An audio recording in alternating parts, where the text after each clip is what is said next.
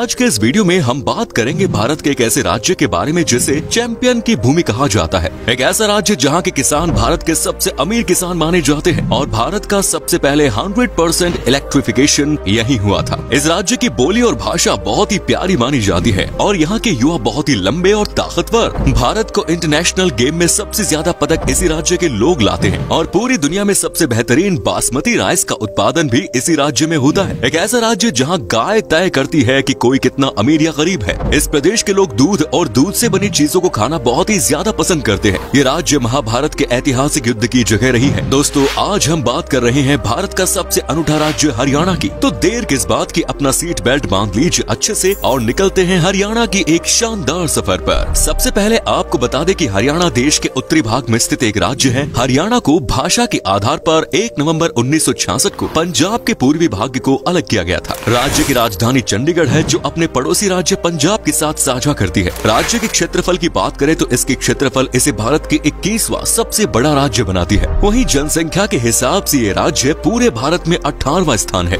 हरियाणा में कुल 22 ज़िले हैं, जिनमें से जिंद जिला सबसे पुराना जिला माना जाता है। जनसंख्या की दृष्टि से हरियाणा का सबसे बड़ा जिला फरीदाबाद है। वही क्षेत्रफल के आधार पर भिवानी सबसे बड़ा जिला है। हरियाणा की चाहोदी की बात करें तो ये राज्य चारों तरफ़ से लैंडलॉक है। राज्य के उत्तर में पंजाब और हिमाचल प्रदेश दक्षिण और पश्चिम में राजस्थान से जुड़ी हुई है। राजधानी दिल्ली, हरियाणा से तीन तरफ़ से घिरी हुई है और यही वजह है कि हरियाणा का दक्षिणी क्षेत्र को राष्ट्रीय राजधानी में शामिल किया गया है। चंडीगढ़ न सिर्फ़ हरियाणा की राजधानी है, बल्कि ये पंजाब की भी राजधानी है। चंडीगढ़ को भारत के प्लांट शहरों में से एक माना जाता है, जहाँ आधुनिकता के साथ साथ प्राचीन चीज़ों को भी सहेज कर रखा जाता है। चंडीगढ़ में आपको कई पर्यटन स्थल मिलेंगे, जहाँ जाकर आप अपनी थकान मिटा सकते हैं, जिनमें rock garden, rose garden, butterfly park terrace garden और भी बहुत कुछ। दोस्तों, हरियाणा की ऑफिशियल लैंग्वेज हिंदी है। यहाँ करीब 87.31 परसेंट लोग हिंदी भाषा में बोलते हैं। हरियाणा के 70 फ़ीसदी गाँव के लोग हिंदी की बोली हरियाणवी में बोलते हैं। दरअसल, हरियाणवी बोली इंडो आर्यन परिवार से संबंधित है। हरियाणा के अलग अलग क्षेत्रों में हरियाणवी को बोलने का लहजा अलग अलग है। हरियाणा के उत्तरी क्षेत्र में बोली जाने वाली हरियाणवी आसान होती है, जिसे कोई भी हिंदी भाषा आसानी से समझ सकता है। लेकिन हरियाणा के दक्षिणी भाग में बोली जाने वाली हरियाणवी को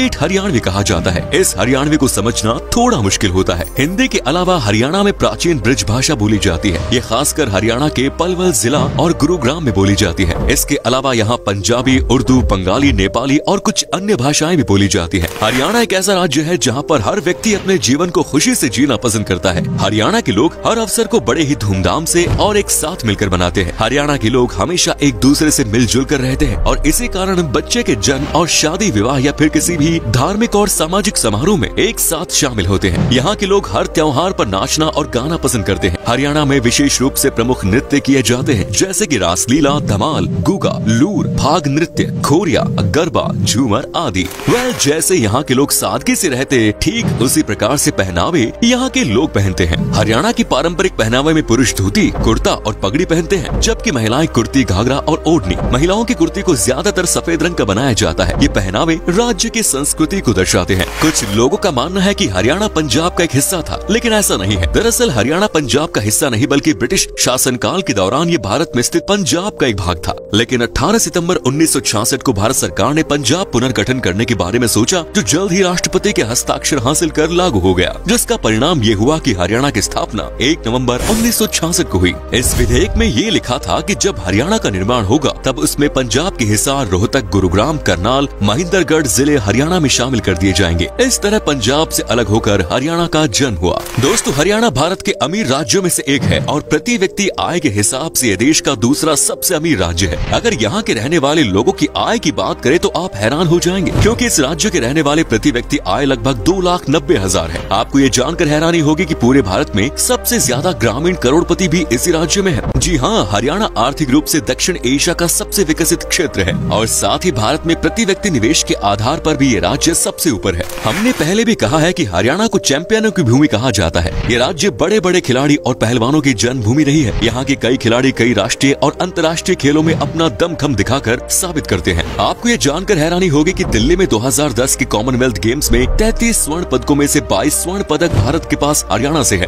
अभी हाल ही में हुए टोक्यो ओलंपिक 2020 में भारत के star javelin thrower Neeraj Chopra ने शानदार प्रदर्शन दिखाते हुए देश को पहला गोल्ड दिलाया। राष्ट्रमंडल खेलों में ब्रॉन्ज पदक जीतने वाले मुक्केबाज मनोज कुमार, संग्राम सिंह, अमित फंगल और वर्ल्ड चैंपियन निशानेबाज जसपाल राणा या साइना नेहवाल जो ओलंपिक में तीन बार भारत का प्रतिनिधित्व कर चुकी है उन्होंने अपनी दूसरी उपस्थिति में ब्रॉन्ज पदक जीता, ये सभी हरियाणा से ही है। हरियाणा सिर्फ़ खेल कूद में ही माहिर नहीं है, खेलने के अलावा यहाँ के लोग पढ़ाई लिखाई में भी काफ़ी आगे है। एक रिपोर्ट के अनुसार राज्य की लिटरेसी रेट 67.91 परसेंट है, जो कि बाकी राज्यों के मुकाबले काफ़ी अच्छे है।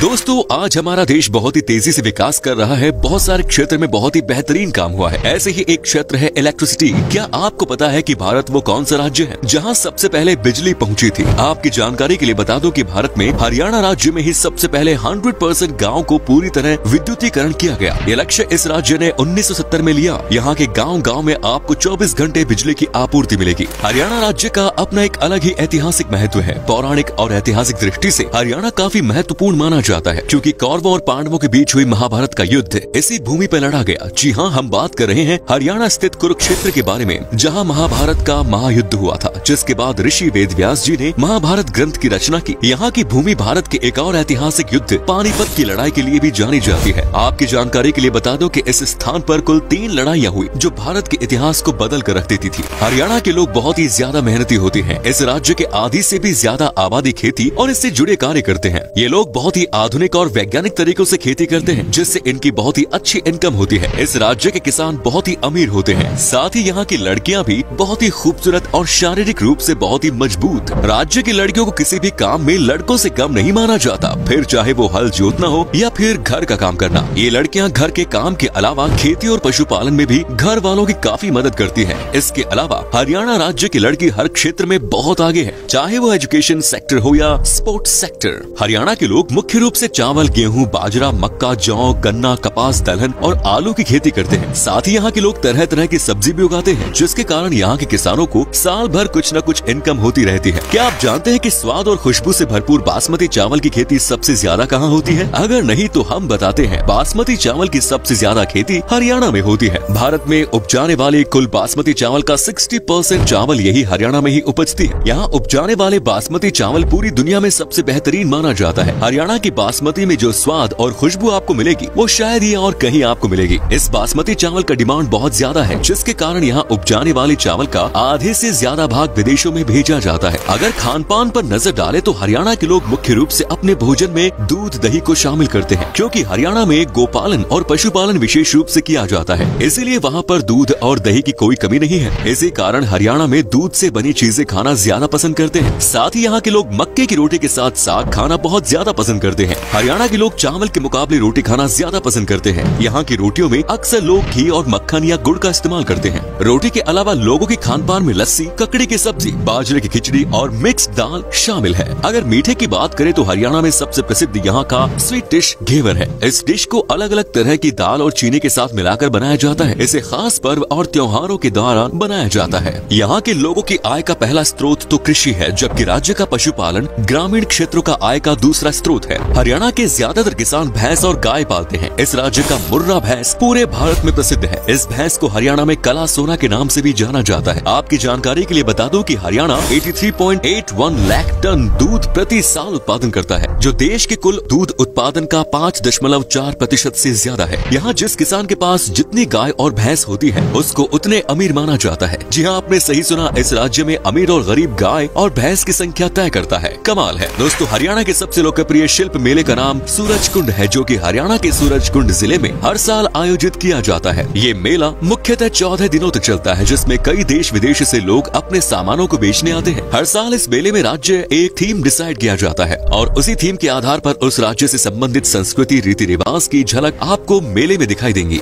हरियाणा, भारत के राज्य दिल्ली से थोड़ी ही दूरी पर स्थित है और साथ ही साथ भारत के golden tourism triangle Agra Delhi और जयपुर के पास भी है। यही वजह है कि ये राज्य अपनी प्राकृतिक सुंदरता से पर्यटकों को अपनी ओर आकर्षित करता है। इस राज्य में आप कुरुक्षेत्र, पानीपत, सोहना, करनाल, झील, बड़खला, झील सूरज कुंड फरीदाबाद, कैथल आदि घूम सकते हैं। अब हम आपको इस राज्य के सबसे आधुनिक शहर गुड़गांव के बारे में बताते हैं। इस शहर को cyber city, medicine, call centre, capital, electronic city, ये भी कह सकते हैं। यहाँ आपको बड़े बड़े नेशनल और इंटरनेशनल कंपनी के ऑफ़िस इस शहर में देखने को मिलेंगे। यहाँ आपको कई बड़े बड़े मॉल देखने को मिलेंगे, जिसके कारण इस शहर को भारत का मॉल कैपिटल भी कहा जाता है। चलिए अब हम आपको बताते हैं की आपको हरियाणा घूमने के लिए कितने पैसे लगेंगे और आप यहाँ तक कैसे पहुँच सकते हैं। आपको बता दें की सात ऐसी आठ दिन में लगभग पैंसठ ऐसी सत्तर हज़ार रूपए खर्च करने होंगे। आप अगर फ़्लाइट ऐसी जाना चाहते हैं तो आपको पहले चंडीगढ़ पहुँचना पड़ेगा। इसके अलावा आप ट्रेन और बस से भी हरियाणा आ सकते हैं। तो दोस्तों, ये थी देश की ऐतिहासिक राज्य, हरियाणा। कैसा लगा बताइए कॉमेंट्स में। आप में से अगर कोई है हरियाणा से तो हमें कॉमेंट्स में ज़रूर बताइए। क्या कभी आपने विज़िट किया है इसको? और अगर किया है तो अपना एक्सपीरियंस हमारे साथ शेयर ज़रूर करें। वीडियो पसंद आया तो लाइक कीजिए शेयर कीजिए कॉमेंट्स कीजिए। धन्यवाद।